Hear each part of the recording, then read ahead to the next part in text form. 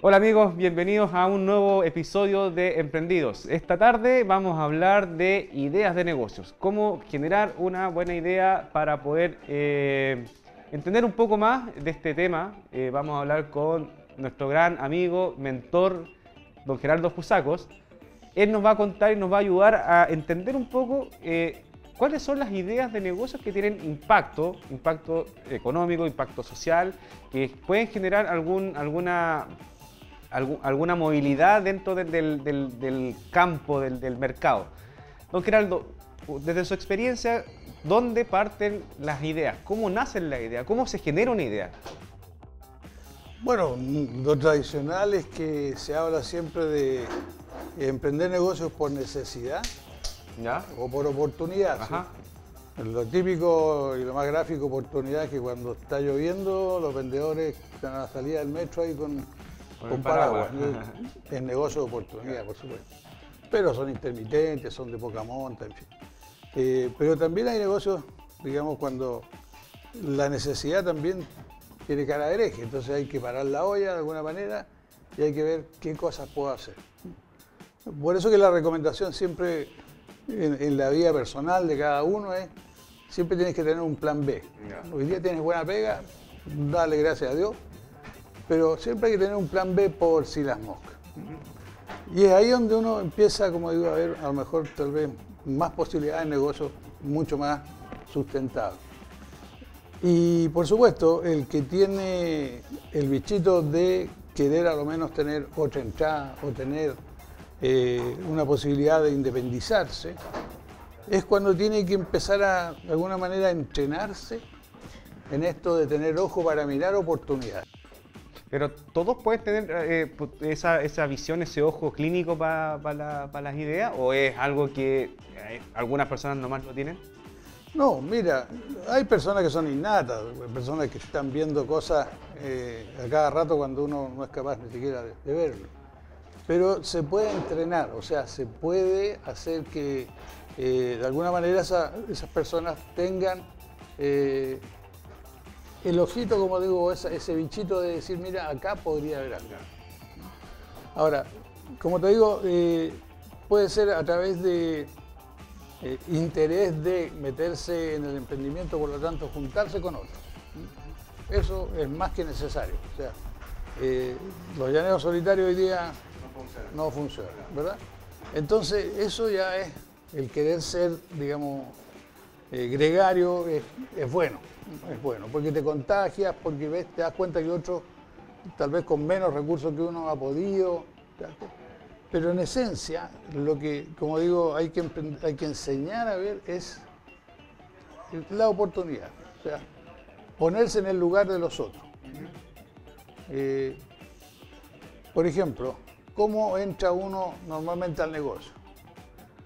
Mira, eh, lo que hay hoy día como servicios, por ejemplo, en la ciudad, no me gusta. Existe. Pero yo soy capaz de mejorarlo.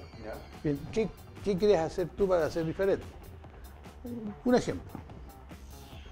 Todos más o menos tenemos un vehículo con el que nos movilizamos.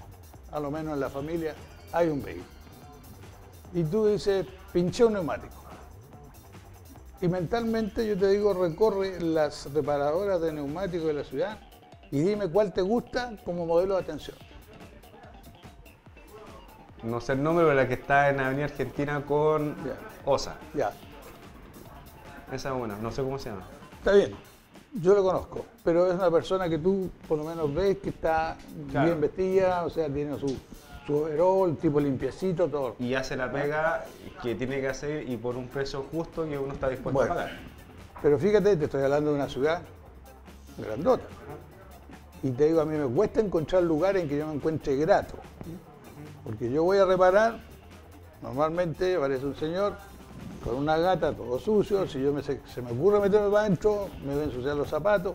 O sea, yo digo, y ahí hay un tremendo negocio y yo podría mejorarlo. Bueno, ya te diste cuenta que hay una posibilidad de hacer un cambio. Entonces, ¿me gusta el servicio que me están dando? No me gusta. ¿Cómo lo cambias? ¿Qué harías tú?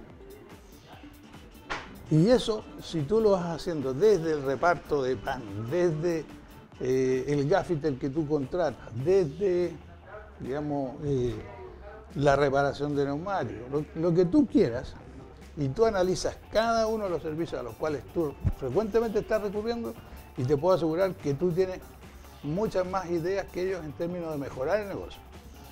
La persona lo está haciendo y está ganando plata y se va a mantener en ese nivel pero no está pensando en las posibilidades, incluso a lo mejor, de generar una red de negocios parecidos en la ciudad.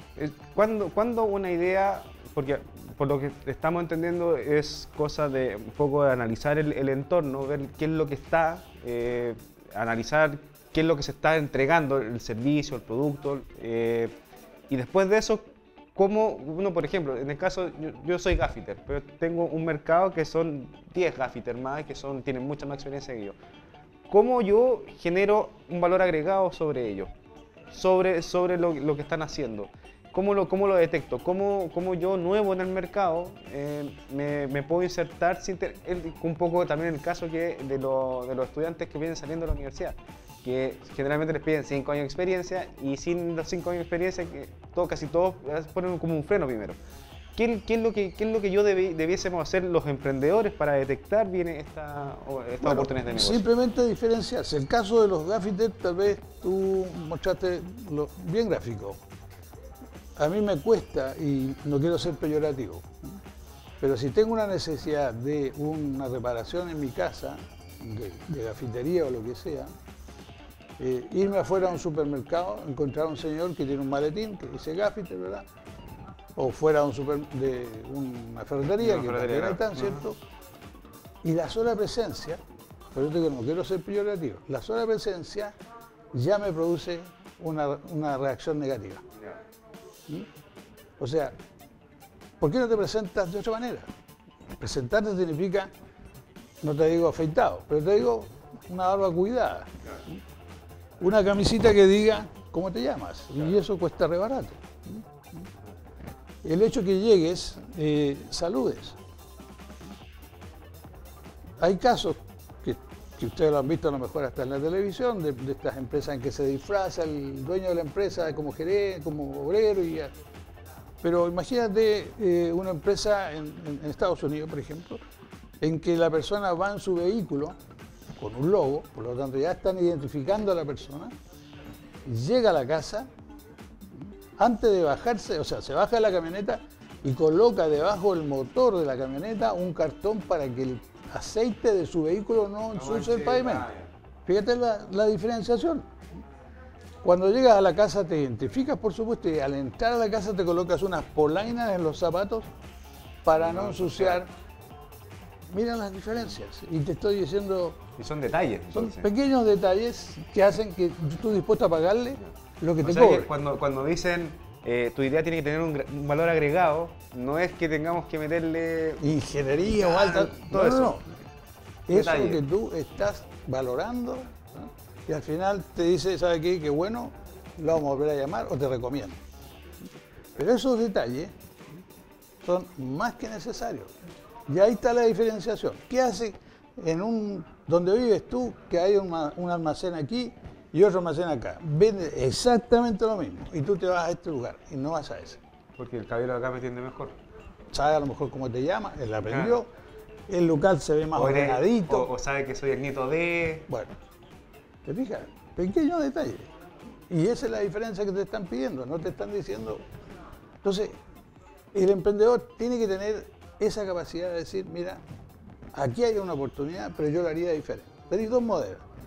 Una, por supuesto, existe, pero tú lo quieres mejorar. Y otra cosa es que no existas. Que no exista lo que tú quieres hacer, lo viste en otro país cuando viajaste, o lo viste en una revista, qué sé yo, y tú lo quieres introducir. Tenéis las dos formas de entrarle al negocio. Entonces, como te digo, la gracia está, primero, por supuesto, en el empeño, las dificultades que van a encontrar, por supuesto que son grandes, pero siempre va a estar las ganas de el prepararse para el plan B que te decía recién.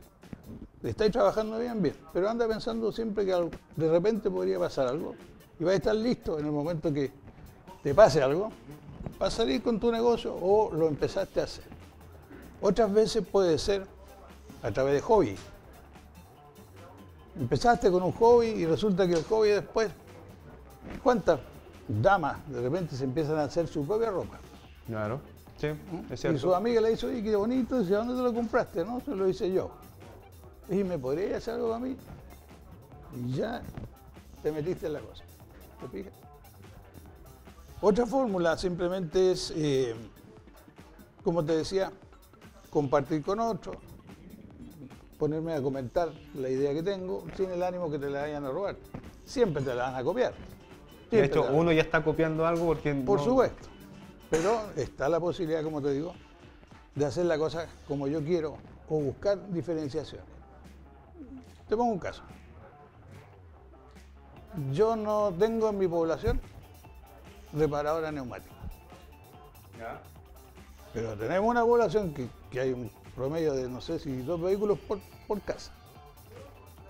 Ahora, mi problema es que yo tengo un garaje que podría colocar perfectamente una máquina, digamos, de desmontar y un compresor y es silenciosa, no meto ni bulla. Pero le voy a crear un problema re serio a mis vecinos desde el punto de vista del estacionamiento, porque yo vivo en un pasaje, empiezan a abandonar los vehículos ahí y me van a reclamar. Entonces no puedo hacer un negocio. Pero por supuesto que lo puedes hacer. ¿Por qué no puedes hacer un negocio con telefonía ah, en que en la población en que vivo me llamen y me digan, oye, ¿sabes qué? Tengo pinchado en el metro, ¿podría venir a mi casa si estoy a, hago el diámetro de, atención y estoy a... claro. Me muevo yo con, con hago una vocalización móvil. Nos vamos a despedir ahora con don Gerardo. El próximo capítulo vamos a conversar un poco más de y vamos a ir desarrollando esto que es el ser emprendedor. Así que nos vemos en el próximo capítulo. Emprendidos, out.